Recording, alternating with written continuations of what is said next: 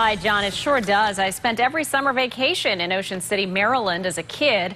Ocean City is under a full evacuation order right now. A major hurricane actually created the Ocean City Inlet back in 1933, and locals in particular are really in constant fear that another whopper of a storm could pretty easily wipe it away. I managed to wake up my poor dad this morning, who's in the Baltimore area. He's glued to the news reports there to give us a sense of the preparations going on and uh, the feeling there in the Maryland area. Dad, can you hear me? I can hear you, Lauren. Good morning. Good morning. What?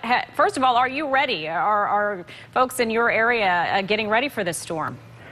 Well, I guess I'm. A, I am. I uh, went yesterday to the uh, local store and bought some batteries and uh, uh, made sure my flashlight was working and my radio was working and bought some water and some non-perishable food and uh, of course it was very crowded a lot of the shelves were starting to get empty uh, the usual things like toilet paper and bread were starting to walk off the shelves so yeah mm-hmm. I think I'm ready as much as I can be. Fortunately, it doesn't seem like it's going to be hitting Baltimore as badly as it's going to be eating the eastern shore.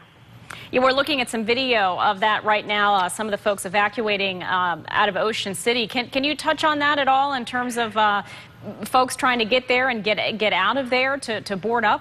Yes. Uh, well, as you know, where we spent uh, many summers um, is uh, right in Ocean City, and uh, I spoke to your uncle, my brother, and uh, they cannot get into Ocean City since the uh, governor and the mayor there have declared it an evacuation area. Um, they're in a uh, high rise. It's uh, 16 floors up in the air, and the exposure from the windows is uh, is the vulnerable point. And uh, I understand that the uh, people who the the condo association is making provisions to board up the entire building if mm-hmm. they can get to it in time. Um, but they can't get down there. Neither can uh, your cousin Joe, who has a place in Bethany, which is not too far away. They have a home, and uh, obviously they can't get to it. So they're just keeping their fingers crossed mm-hmm. and. Uh, as many people who can't get in to do the boarding up. Uh, we'll just have to wait it out and see.